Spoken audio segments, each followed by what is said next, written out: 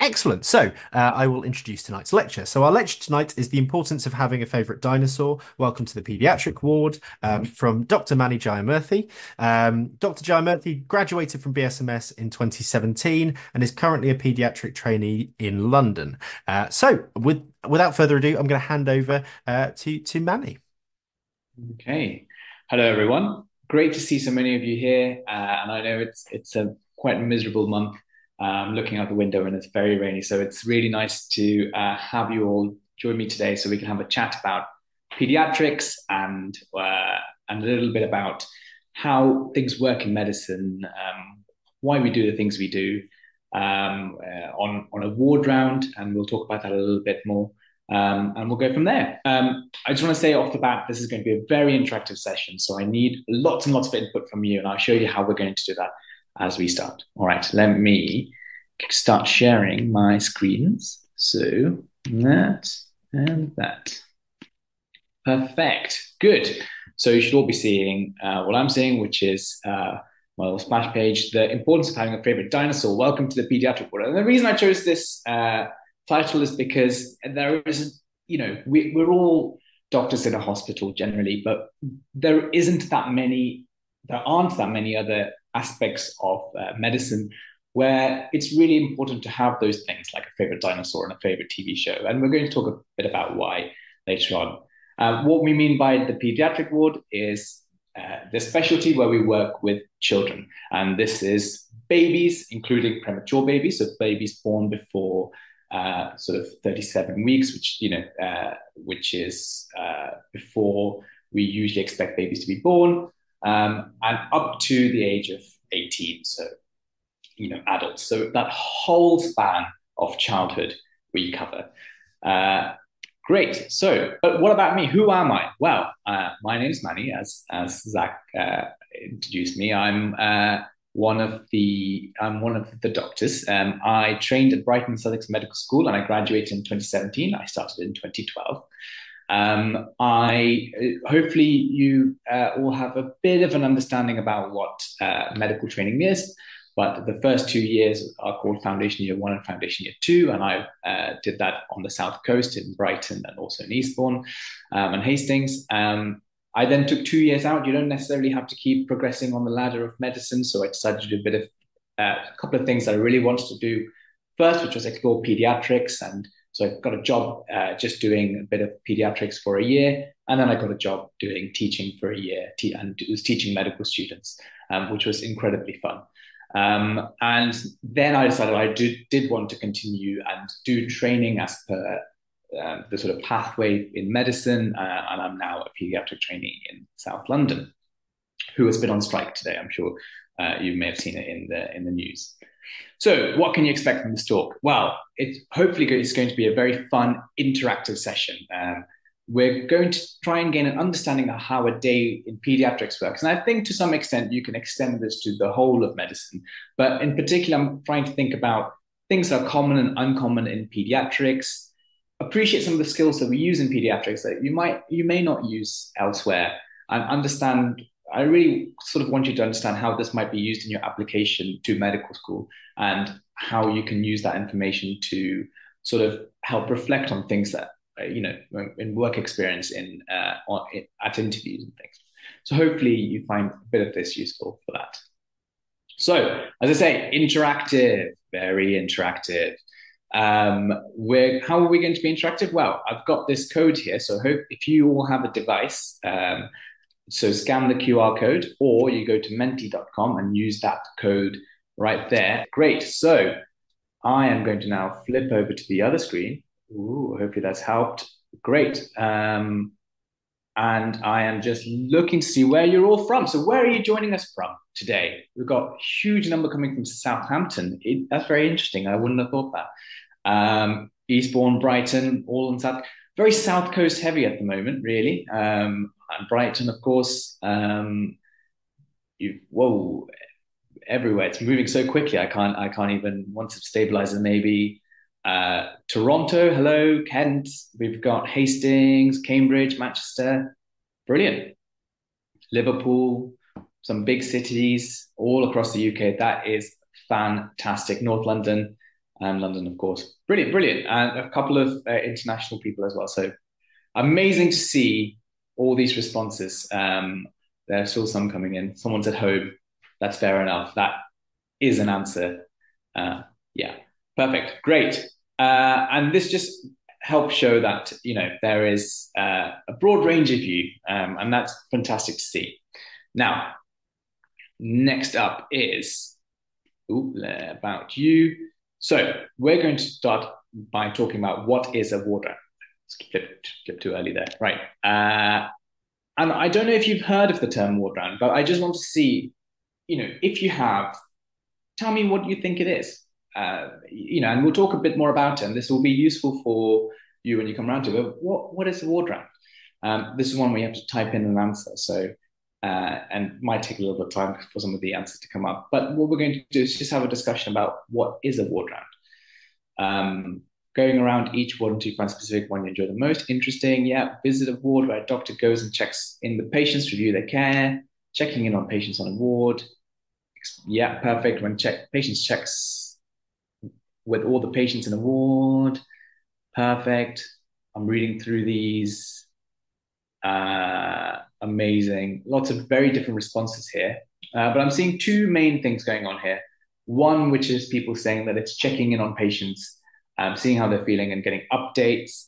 Um, and others saying it's a designated time for training or uh, going around and seeing different wards till you find what what your favorite is. Um, so that those and I think those are those are the two main camps I'm getting. Uh, of these. So uh, the reason I introduce this question is because it's actually really fundamental to how medical teams and things work um, uh, on a day-to-day basis. Uh, let me just read some more of these. I think that's yeah, that's exactly where they sort of lie at the moment. So uh, let me go back to my previous screen, Ooh, and we can see what is a ward round. The ward round is, and so it's very much what the second camp of people are saying, which is that the medical team uh, or part of the team go around the ward and see patients who are currently on the ward. So it's a ward round. Um, and the people on the ward round might be a senior person like a consultant or registrar, um, some other doctors who will be there to help with the notes or uh, look up information that the senior doctors want or information that you know that you want to give to the senior doctors. That could be uh, foundation year two doctors, pediatric trainees or GP trainees. When we're focusing on the pediatric ward, but in other specialties like um, uh, acute medicine or surgery, this might be surgical trainees and medical trainees and so on. Um, you you will also have nurses uh, who are you know nurses in charge might be joining the ward round, and particularly in pediatrics, the nurse in charge often joins the ward round. Um, and sometimes the nurse who's looking after that specific patient who you've gone to do the ward round on might also join the ward round. And you know, especially in a teaching hospital, which and but most hospitals, you might have medical students who are there as well. Now, we've talked about what a ward round is, and and to the other camp of people who are saying, you know, is it where you go around till you find the specialty you like? That's that's rotation. So that's rotational medicine, um, which is how we sort of do the first couple of years of being a doctor. You rotate around different um, wards and things until you have uh, you know cho- you've chosen your specialty. And even after you've chosen a specialty, you do within you know subspecialties within your specialty, but we can come on to that in the Q and A at the end. Uh, let me just see.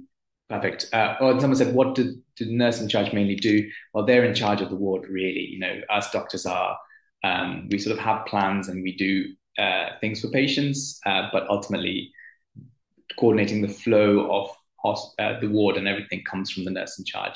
And they've also got staffing numbers of nurses. They do an awful lot of things, some some which I don't even know really.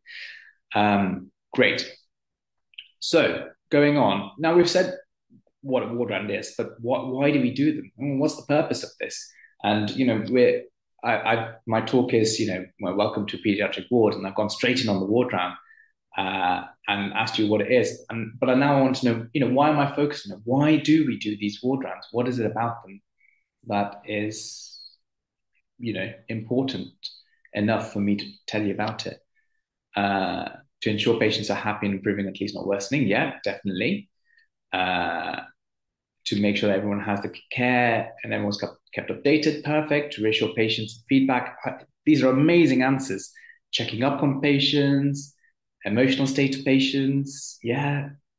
In order to getting doctors used to talking to patients. Absolutely. So there are lots of different elements to it. That's a really good one that I hadn't actually thought of in for my slide. So that is absolutely true, which is to help doctors getting uh, get used to patients, communicate with them and staff.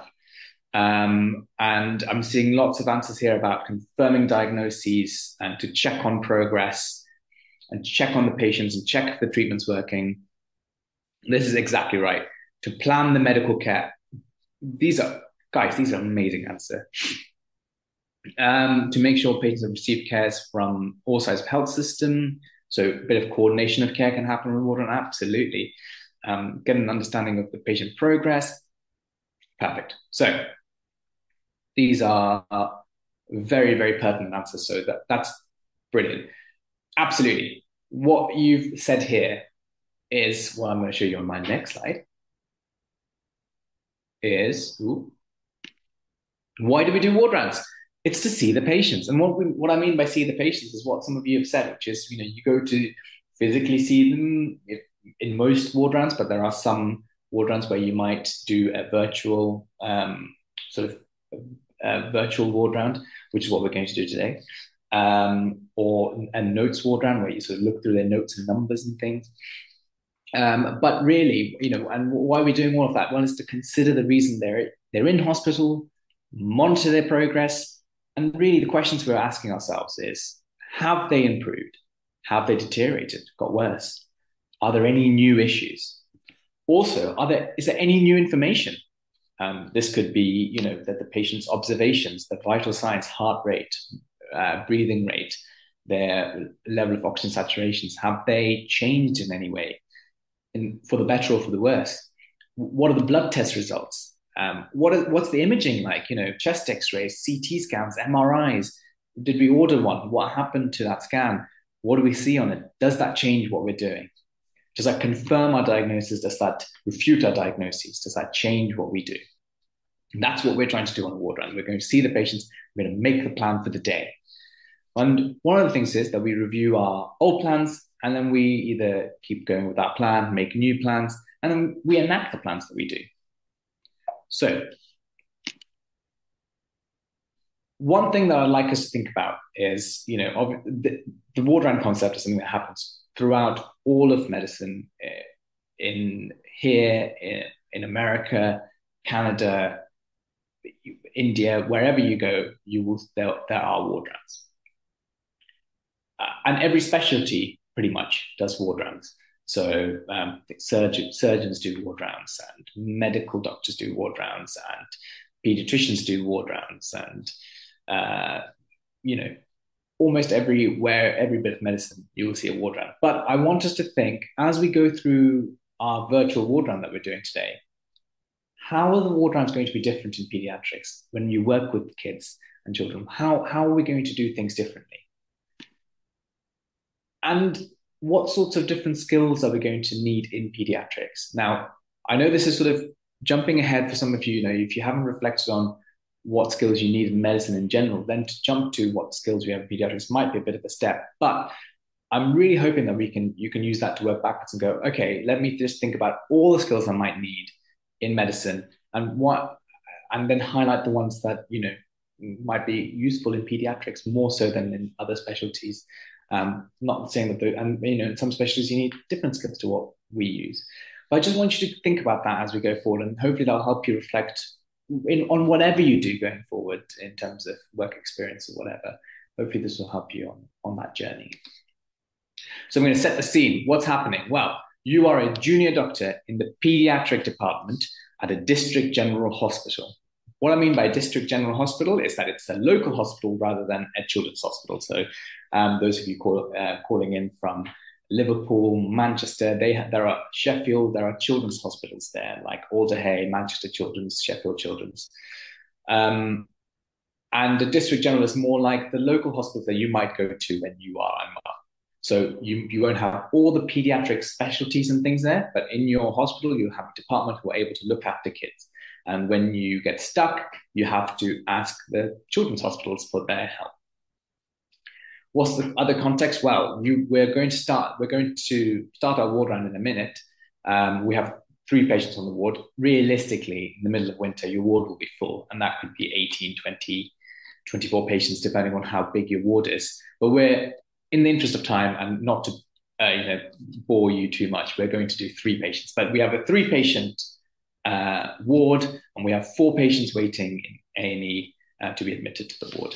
Uh, that's an unusual scenario, but I'm just trying to you know up the ante a little bit there. Cool. So we are. You are a junior doctor. I am also a junior doctor, I guess, um, in this setting, uh, or I guess I'm your senior because I'm guiding you through it. Um, and we have come in in the morning. We've got our morning coffees, um, and we've sat down to get handover. Now, um, it would be useful if you have uh, a pen and paper or an iPad and iPen um, or what, a mode, an instrument to you know use to take some notes because I think it'll be really useful to uh, take notes as we go along because that'll help you remember some of the things because I'm going to throw a lot of information at you um, and uh, what we're doing is a bit of what we have to do on the ward in the mornings uh, when we come in for handover as well. So um, I'm going to go through all the patients. I'm, you know, as, as, if I was on the night. I'm going to tell you about the patients. I'm going to give you an update about them. Um, write down if you think anything's relevant or useful, and we'll circle back because we're going to then do the ward round and see our patients. So, you know, the information that you gather will be useful for for that. Um, okay, so uh, what else to say? Um, there's going to be a lot of uh, sort of things that we need to think about going forward. So I think it would be useful to, yeah, note, jot, jot some stuff down. Okay, so uh, well, welcome everyone to the morning handover. Um, it's been a busy night. Um, there we have three patients on the ward. Um, and there's one patient I'm particularly concerned about. That is Olu, our five-month-old. So I'll start with him. Um, Olu um, has had some. Uh, he's come in with difficulty breathing, and he's had a recent cold. Um, and we think he probably got it from his brother. His background is that he was born early. He was born at 30 weeks um, rather than 40 weeks. And he stayed in hospital for 10 weeks. And he needed a lot of breathing support in that time. Uh, he never had to be intubated, which is where you put a tube down the throat and you breathe for the baby. So he never had to be intubated, which is a, one of the highest levels of um, respiratory, so breathing support we can give a baby. But he needed quite a lot of support and needed to be in hospital for 10 weeks.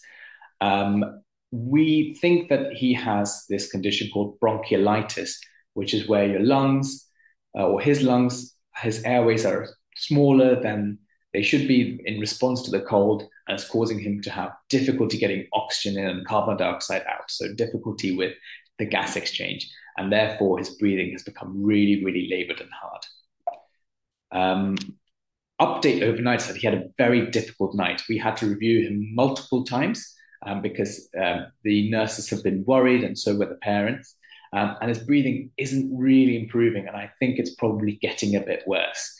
Um, and I think we really need to keep an eye on him um, as you as you go into today. Next, we have uh, Arvi. He's four years old. he came in with redness and pain around the eye.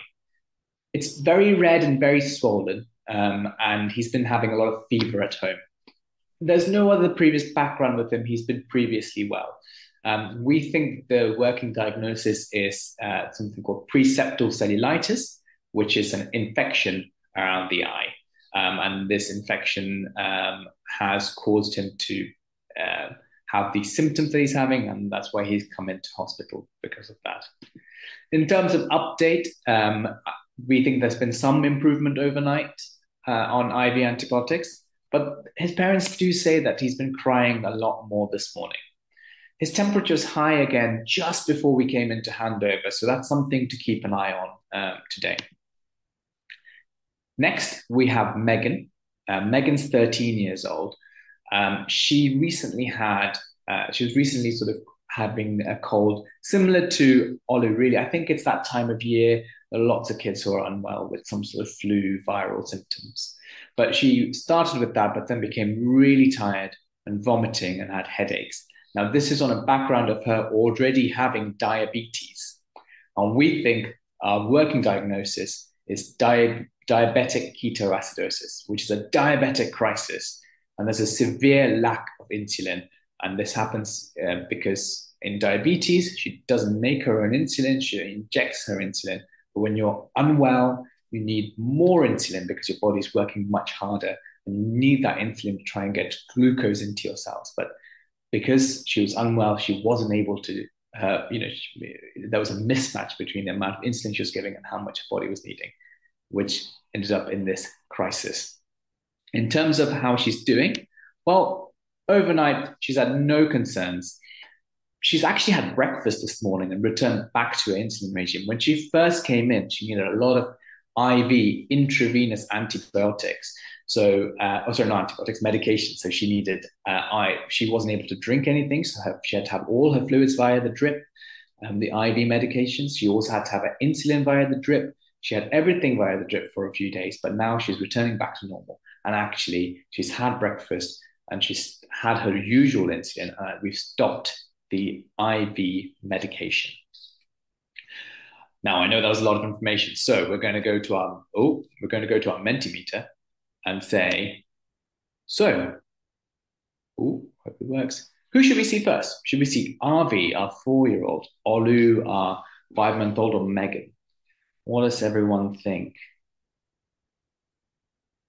And the number count will give me a good idea of who's still listening. We're getting a pretty good showing here for Olu. No one really going, no one really keen to go see Arvi first or Megan. No, very much, very much heading towards Olu, it seems. Yeah. Okay. All right. I think uh, it sounds like we're we're uh, we're going to go see. Oh, someone's gone for Arvi, and that's that's also fair. I mean, um, you know, really, I want to know why why you're thinking what you're thinking. What's the why? Why do you want to go see Olu first? What's what what about the handover about him has meant you know on our ward round you think we should go see him first rather than Arvi or or Megan or see her sorry Olu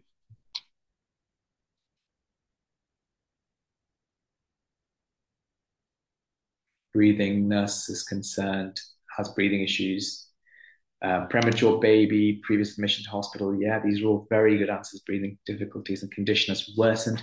What is the highest acuity patient? Most at risk of deteriorating? Absolutely. Um, youngest was premature and affecting his health even more since he can't breathe. These are all really good answers. So I'm seeing that um, the key sort of features I'm pulling out of here is that you feel that we should go see him because his breathing isn't improving. Um, also, I'm getting a feeling that uh, people feel that because he is the youngest patient, um, so rather than the four year old or the 13 year old, the uh, five month old is someone we should see because of that. Um, a few people have mentioned the prematurity, which is also fantastic. Um, that's really, really important. Um, and because it's a breathing problem, absolutely. Uh, and uh, his issues relating to the airway, yeah, absolutely. Perfect. And the nurses were concerned, definitely, definitely, definitely, definitely. Um, and lots of really good responses here. Uh, and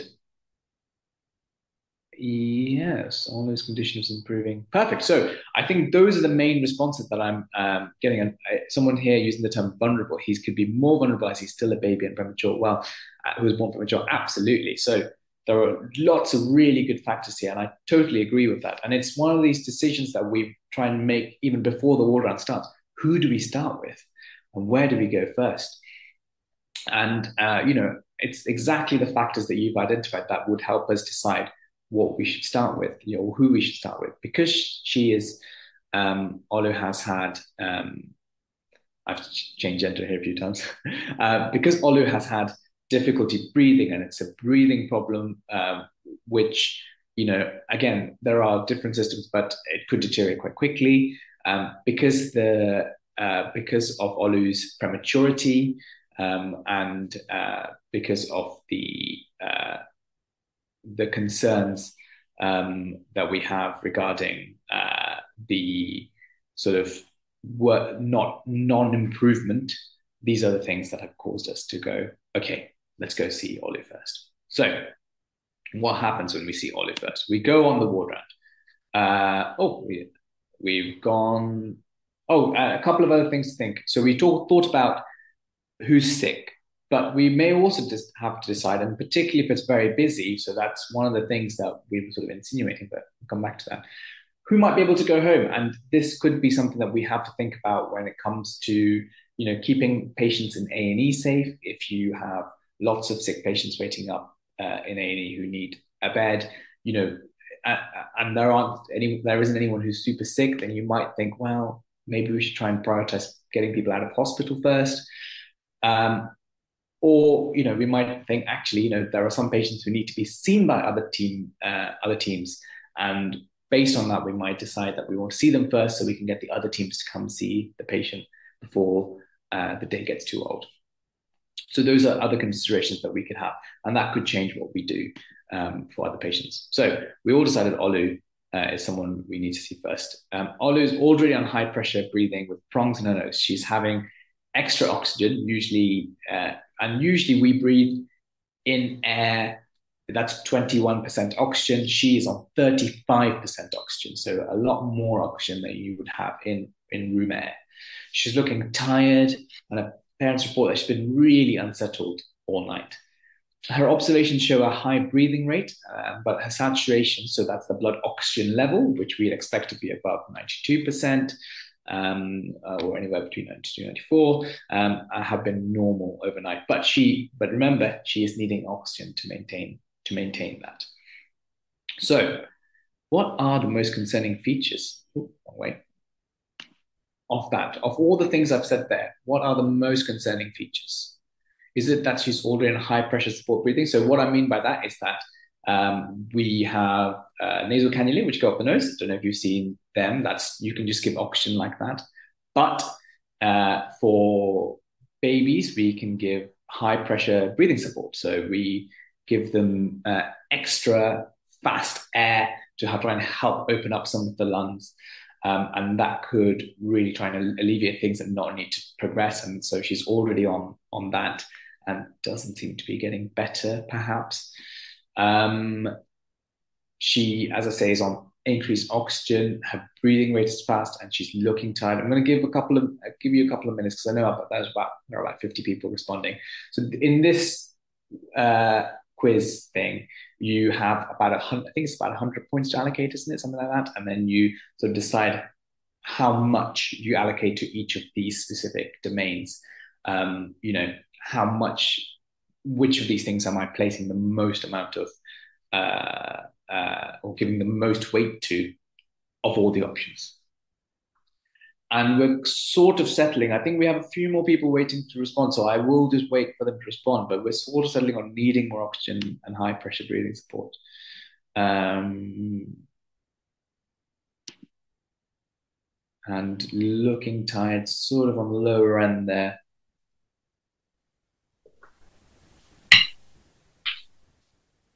Let's see.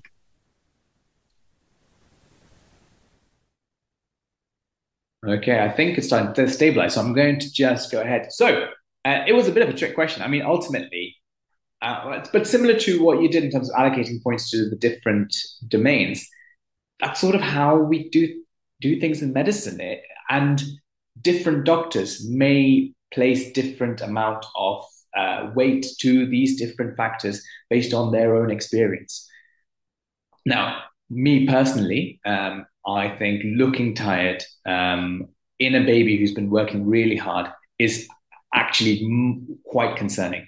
The high breathing rate, I might say, okay, you know that that is important to be concerned about. However, we know he's going to have a, oh, she's going to have a high breathing rate. So, but looking tired, now that's something that means that perhaps she is just going to get tireder and tighter and tighter and tighter. Uh, and her breathing is going to get worse and worse and worse and worse. So that's something that I actually would place a little bit higher. Um, needing oxygen is quite common. So I, you know, and again, this is, this is something I'm saying with experience. So you know, it's not something I'm expecting you to know, but it just goes to show that it's all about medicine. medicine's a lot about experience, a lot about um, prioritization, a lot about those sort of um, skills of uh, pattern recognition. Um, you often need more oxygen when you're uh, when you have bronchiolitis and you're bed well, but be already being on breath, breathing support, high pressure breathing support means that the next level up is going to be something where we need to get other teams involved. And, and we, when what, what we'll need to do is we'll need to talk to uh, uh, intensive care in a children's hospital to perhaps get Olu to uh, a place where they can give more support, like the tube down the throat, to give breathing support rather than the, the high pressure breathing support alone if that makes sense. So um, that's one of the tasks that we may have to do, having seen Olu now, is we may need to contact the uh, intensive care team um, in a children's hospital um, and say to them, we have a patient who's really unwell and we need you to come see her and make a decision about if you think she needs to be transferred to you. Um, but you, when you make that decision, you know, uh, how soon you call, how late you call. These are all uh, because do you think you might turn the corner? These are the decisions that we make on a day to day basis. Okay, so so that one of the main. Uh, wait, let me see if the next slide is about Olu. Yes. So what should we do next? I think I've sort of given the game away a little bit, but what sort of things do you think we should do next for Olu?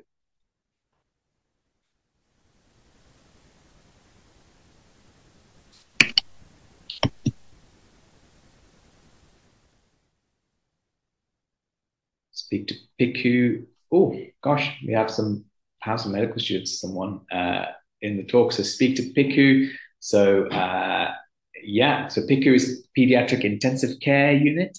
Update the parents. So important and something that we often forget um, is to update um, the parents about um, what's going on.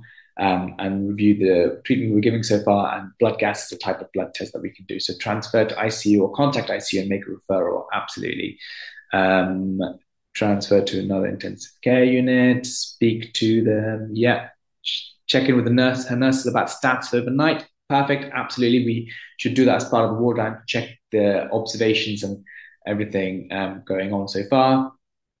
Uh, and we need to review, consider the high level support and stuff. Perfect. Good. Amazing. Really, re- this is fantastic stuff. Now, um, I would I do want to keep reading these, but I am going to move on because we I want to get through a couple of other patients before we get to Q and A, uh, if we can. Um, we might skip the last patient just because, in the interest of time, uh, because you're all answering such you're giving me so much to talk about. So we now go to see Arvi on the water next. I've decided that you know next up is Arvi. Um, uh, so I hope you wrote down what uh, Arvi's situation was, which is that he had an infection around the eye. So Arvi's parents report that he's crying more. Uh, they think he is in pain. Um, and you notice this, that this ha- really happens when he's looking around. He's at a high temperature, which came down paracetamol. And the doctor who saw Arvi yesterday is on the ward round and reports that his eyes do seem the same as yesterday. Arvi doesn't want to interact with this at all. Uh, but after you gained his trust, he reports that his eye is ouchy. Now, this is quite a common sort of situation on, uh, in pediatrics, not necessarily the eye, uh, the infection around the eye, but the uh, situation of um, a child not wanting to interact with us. So, very quickly, what we're going to do is think about this next question, which is what can we do to get Arvi to interact with us? What sorts of things can we do to get him to uh, have a conversation with us, get him on our side? What can we do? Find out what his interests are. Toys, perfect. Speak about something other than medicine. Absolutely. I mean, he's four. He's not really going to know anything about medicine. Um, gain trust by finding things he's interested in. Absolutely. And, you know, I think some people think four year olds don't have interest, but they do. It, it, and it could be um, a TV show, or it could be some sort of card thing that they're interested in. Favorite dinosaur, very good. That's uh, that's the uh, name of the game here. Uh, tell jokes. Yeah, kids do love jokes. But at four, you know, mm, they may be. Um, I think sort of fart jokes and things do sort of land sometimes. Um, play a small game. Absolutely talk about friends, school, use picture scales. Uh, have, have a conversation with parents, finds interest. Absolutely. Uh, involve play therapists. Great. So that's another whole uh, thing that in pediatrics that we have that we don't find anywhere else. Uh, people who are paid to play, uh, and it's it's really quite amazing. Uh, and but they can really help in terms of getting children to interact with us. Talking about TV, play, perfect. These are absolutely the right things. Smile, uh, yeah, definitely. Um, and trying to be talking in an approachable way. Yes, absolutely. So talking approachably, uh, not using confusing words. Um, and putting them at, e- at ease, giving him toys to cuddle. Perfect. Uh, and that's exactly what we need to do in pediatrics. And now I really want you to think all these things that you've said, all those things, what skills are those that we're using? What skills do we need in medicine? Um, uh, and in particular pediatrics, but this can, you know, you can sort of uh, extend it to the whole of medicine. But what skills are we using? Um, and why are they important? Why is that more important than, say, um, uh, uh, other jobs and that the skills that we're using um, are more important in medicine than in some other jobs, you know? Communication, absolutely. Perfect, good. So, uh, and I want you to think not just about the communication skills that we're using, but you know, how are we using them? What what are we doing um, that is helping here? You know, everyone needs some level of communication skills to go about day to day business, but what are we doing here in medicine that makes it different. And that's one of the things that, you know, if you're applying for medical school, that, you know, uh, that would be useful to talk about in interviews. Um, okay, really quickly, uh, next up, we're going to ask, are there other teams that we should contact for Arvi? Are there other medical teams, surgical teams, anyone that we should contact? Oh, perfect. Lovely. Yes. Getting a lot of ophthalmology here. I did this to word cloud because I didn't know uh, what was the best format, but looks like word cloud's doing pretty well here, and ophthalmology is coming out as the as the clear winner. Yes, definitely. Agreed. Ophthalmology. Some people have optometry. That's definitely, you know, may need that in the future. We all should have our eye checks with optometrists, but um, ophthalmology are the main people. looking at other things, histology, immunology. I mean, uh, if we take any samples of something, we may need to send it to the pathology team. Great, good. Uh, you're all fantastic there. Yeah, absolutely. Um, ophthalmology is the is the way forward. So that's the eye doctors for those uh, who haven't heard of ophthalmology before. So that's the eye doctors, and that's because he said his eyes ouchy, um, I, and because we noticed it when he was looking around. If if it's around the eye, it shouldn't hurt when you're looking at things. Uh, but if you look somewhere and it hurts, then you're worried that the infection may have spread to the eye. Okay, great. Um, we'll move on. So now we go to see Megan, and she's feeling a lot better today. She's had, she says she's had di- diabetic ketoacidosis, DKA, before, and the last time it was triggered by an illness too. Um, she's managed to eat and has restarted her usual insulin and has had some blood tests before the ward round. Um, I've got some statements here on Mentimeter that I want you to decide if you agree with them. So, uh, do you agree with these statements? We should discharge her. She should stay another night in hospital. We should contact the diabetes team. We should talk to Megan about her di- diabetes control. And we need to investigate further why she had this crisis. So this will be a slider. You just uh, move the slider till you have uh, you're, you're happy with your answer, and then it will average out everyone's sliders to where we get. Great. This is so I'm getting a sense that generally people think we should contact the diabetes team. We should talk to Megan about diabetes control, and we should uh, think about maybe discharging her. And a, lot of people here actually, I'm seeing two bouncers there about investigating further why she had this crisis. Um, and a, a, a, pretty good support for she to stay one more night in hospital there. So I'll tell you my my view is that I think we should discharge. Her. I think we should definitely contact the diabetes team. Um, and I hope you're taking some of these jobs down. I should have said that at the beginning, perhaps, but um, so we should contact the diabetes team uh, I, I do agree that it might be useful to talk to Megan about diabetes control. You know, when I was making this earlier, I was thinking she says that she's had it before, but actually we should figure out sort of, you know, the, we do give children with diabetes a plan for when they're getting well to follow so that this doesn't happen. So there would be perhaps something to check in on here to say, you know, should we should we talk about your diabetes control? You know, are you, you do you understand your sick day rules, rules for when you're sick, and what to do about it? Um, I don't know if we need to investigate this crisis further.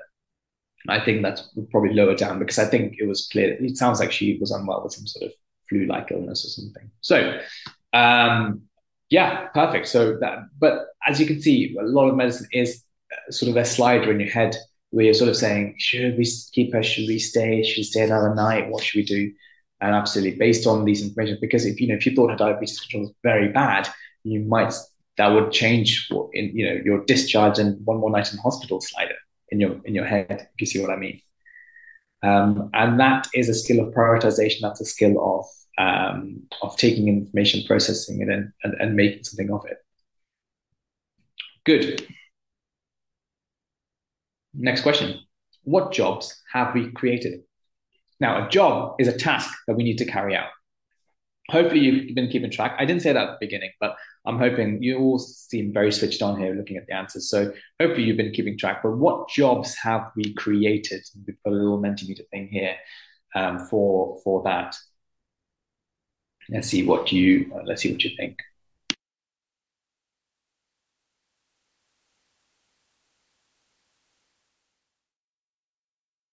Oh, and I mean for the whole ward. Sorry, it's not just Megan, but the whole. Yes, contact IT team. Yeah, absolutely. Something we discussed about for Megan. And as you can see, you can enter multiple things. So I try and do one per option that you can enter uh, referrals, referrals, ophthalmology, ICU, diabetes. Anyone related to managing the distribution of beds? Yeah, perhaps that's true. Uh, PICU, yeah, we're seeing lots and lots of different things here. Great, great, great, great, great, great, great, great. Good. Checking up pain levels, ophthalmologists informing parents. Good. And you're saying all the same sorts of things that uh, keep checks on Megan, refer Arvi, prioritization, diabetes team. Lovely. Good. Lots of, lots of, you know, all sorts of jobs that I thought of here. And in fact, here is a great little Mentimeter thing where we're going to rank. And I totally agree with all those jobs you've said. I really, I'm sorry if I cut you off a bit, but I do want to try and get through um, all things. But let's prioritize. Now, this is a ranking tool. I want you to rank which jobs you think come first, second, all the way down to eighth of those jobs that we have? And I'm just curious to see, and it averages you all out again, of course, but I'm curious to see what um, how you would prioritize the list, this list of jobs. Um, and you'll see some uh, uh, extra jobs that I, I, have made up in there as well. So that's uh, um, well, coffee break, um, and also reviewing a patient waiting in A and E.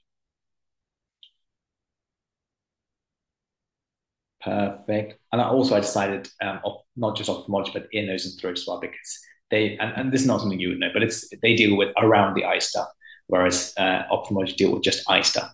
So um, great, right? Discharge summary, and a discharge summary being a, a letter you need to have before you leave hospital. Not, not necessarily need, but it's a letter to have before you leave hospital to say what's happened um, and uh, what we've done, and so the GP can know what's what's been going on or in case you come back into hospital.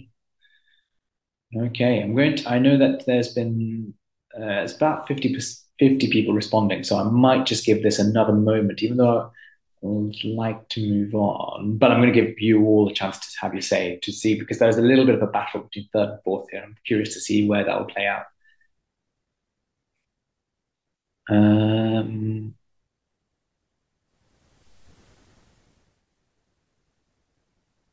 Interesting. Perfect. Okay. Cool. So what we're seeing here is that people feel the most important thing we need to do is discuss Olu with the intensive care team. Absolutely. Um, and then referring op- Arvi to ophthalmology team.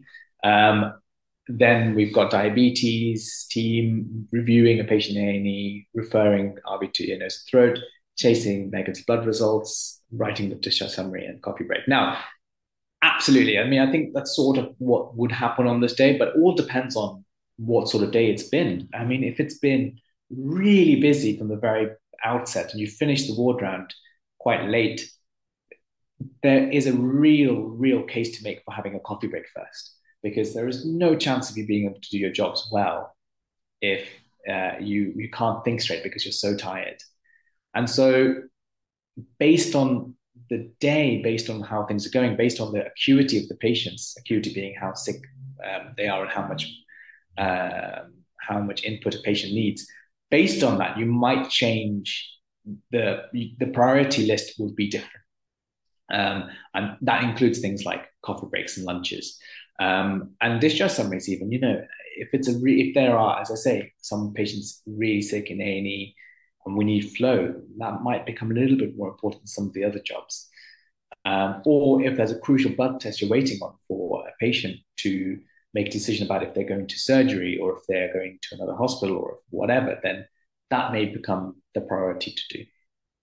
So, but I, I totally agree with you. We've ranked it in terms of sort of relative acuity at, at the moment. Um, now, I'll shoot through this quickly. Different skills we need pediatrics, different skills. Uh, I'll just talk a, a, little bit about the fact that, uh, you know, there are skills that we need in medicine in general, and I'm just picking out a few that we need in pediatrics because, you know, we have, and, and really I'm trying to say here that I'm not giving you the skills. I want you to think about it yourself about how how our skill set needs to be a bit different in pediatrics because we deal with babies who can't tell us what they are feeling. We need to use our ears and our eyes and our, um, our clinical acumen um, and our interpretation blood tests and things to best inform us about babies because they can't just say, I'm not feeling well today, which a 13 year old can do. Parents know them best and you know we need to think about how that changes what communication um, we have with parents parents know their children really really well. However they also um, probably only know their children and what we do in pediatrics is lots of children. So then we have this ability to be able to reassure them if something that we see a lot or if it's if it's something that you know is is new or something that we need to worry about then we can carry you know do the right thing for that for that baby um, but we need to be able to listen to parents, and you know, it's about how we have that interaction, particularly when you've just had a newborn. It's a very stressful time as well as an amazing time. So, how do we interact with people in, in that scenario? And babies wriggle a lot. So, you know, and if I, if any of you went to have your blood test done and someone said hold still, almost certainly you'd hold still. Babies won't do that. It changes what skills I need to have to be able to deal with that as you grow older, children, they can communicate. And this is where the name for the talk comes from. You mainly talk about things like TV shows or favorite dinosaurs, which we sort of alluded to when we were talking about Arvi there, um, to try and get them on site, to try and talk to them. And that's because if they can be frustrated when they're talked over. Even at the age of four or five, children have thoughts and it's important for us to hear them. But it's also important for us to, you know, focus on what the parents are saying. So it's this three-way communication that we really need to figure out well and particularly as you go on to you know seven year olds, eight year olds, ten year olds. And it can be, uh, and they can be scared of being in a medical setting. You know, it's about how we interact with kids in that situation. Now, teenagers a whole another kettle of fish. I don't know if some of you, um, or presumably quite a few of you, are still teenagers, but um, and it's this time of life where you're trying to figure out, you know, what you want to do in life. And um, I mean, I think we all are to some extent, but particularly you feel it particularly a lot uh, in teenage years. You want agency about making decisions, and they may want um, varying levels of how much they want parents to know, and also how much they want to be involved in their own healthcare. And it's that trying to get that balance right. How much do parents do? How much do the teenagers do? I mean, particularly if you're if you're at school the whole day, it's not like we're a toddler who's at home the whole day in terms of who gives the medications. That can get tricky um, and about how we deal with that. And that can be a highly emotional time and, and also a highly, there's lots of social things going on, things about drinks, drinking, drugs, social media. These are all important topics that we need to talk to teenagers about that we don't necessarily need to talk to babies about. Or, you know, you can do, but not going to be that helpful usually. So but having all of those skills is something that we need to do in pediatrics. Now, I haven't given you what the skills as well. I'd but I'd like you to reflect on it. Think, you know, what do doctors in pediatrics need to do differently, um, and how does that tell me about the skills you need as a doctor in general? So I've rattled through quite a bit, but what have we covered? We've talked about some common problems in pediatrics. We've talked about what ward rounds are and what we do on them and how we approach the information we receive on ward rounds. We now there's a lot more that goes on, a lot more about blood tests and um, a lot more about uh, you know imaging information. There's a lot of information you go through on ward round that we didn't, and I, because I don't want to overcomplicate it for you. Um, and uh, we talked about the specific skills that are important in pediatrics, or rather, I, I, I sort of alluded to them. And that's because I wanted to give you an insight into the work of a doctor and I really want you to reflect on these things you've learned today. Um, if you're applying for medicine, particularly to use it to, um, you know, help you decide on the sort of things that you want to talk about uh, when when it comes to interviews, um, and the things that you might want to include as important skills. And I really want you to reflect on the skills that we've talked about and the skills that we've seen on the wall around the things that might you might need to do things like prioritization um, things like uh, you know commun- I mean, we talked a lot about communication but you know it includes other skills you know you have um, organization time skills you know all of that sort of stuff um, and I want you to really think about how this relates to your skill and if you're a medical student watching or anyone, you know, about how it informs which specialty you decide to do as well. Um, so even if, if you're applying for medical school, once you've gone to medical school, then you have to decide which way you want to go. And these are the things to reflect on to get, get to that point. So any questions? Now, one more thing I should say is that, you know, I made it seem like we would this is how ward rounds always happen, which is that you have a whole team, you go around together, um, but in reality, when we have those jobs, a lot of those jobs would be happening together. Um, you might you might even do the job as you go. If there are lots of you on the ward round, one of you could peel off to do jobs while you know the rest of you go on and document those uh, you know what's going on and summarizing things. So one person go off to do referrals, one person can go off to do look at blood tests um, and all of that. So it, these things happen in conjunction. And also, um, you can split the ward runs. You can have two ward runs happening. So two two patients can be being seen at the same time, uh, one with the consultant, one with the registrar. You know that sort of stuff. So there, I've given you quite a, a narrow spectrum of what happens, but it's just to give you an early indication to to these things. Um, so I hope that's I hope that's been useful. Um, and I think there's quite a few questions already. Um, shall I just start on them, Zach? Yes, yeah, yeah, if you want to. We've got about five minutes or so for questions. so I'll try and shoot through them. So what do nurse in charge mainly do? I've been talking about already. What is the difference between matrons on the ward, well, uh, on the ward and nurses in charge? Matrons are sort of the overall in charge of the ward in many different ways. So future planning and all of that. Um, nurse in charge is in charge on that day and doing dealing with you know the patient flow and um, nurses on that day. So they may be the senior nurse who goes to help out with things if they need whatever, you know, any help they need. Um, do you get to choose which patient has to be seen first? You know, invariably we will have a discussion in the morning about who, you know, which patient is going to be seen. Generally, the consultant or registrar will make that decision about where we start. Um, if you're a more junior member, um, but if you're sometimes in some places I've had to do my own ward runs and then I would decide which patients I saw first. Why did you choose to become a pediatrician? Great question. And it's exactly the things we talked about today. I mean, I really loved working with kids. I really loved the fact that, you know, I needed to know things like Paw Patrol and Moana and Encanto, all these things as part of my working day.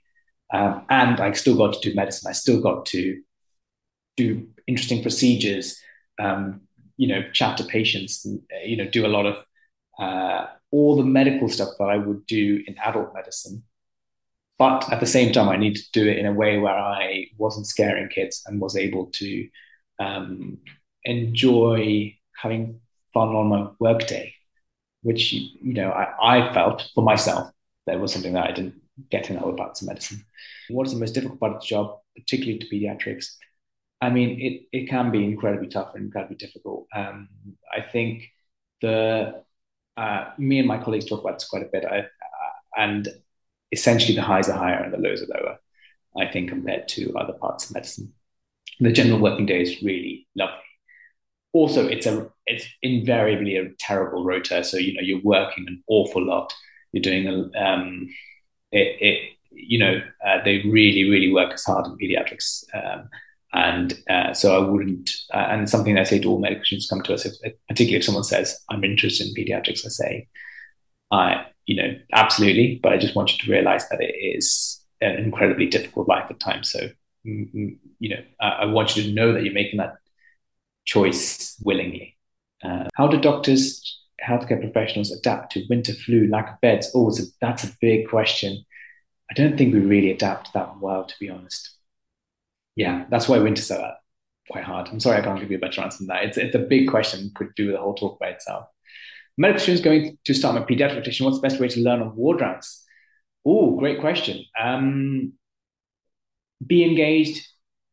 Be able to take on some of the jobs. Offer to take on some of the jobs, uh, particularly jobs where you can be supervised. I think that's a great way to learn. Um, resources are particularly helpful. I, I think just just being there and just trying to see what's happening and, and, and asking why. Why are they doing? Why are they making the decisions they're making?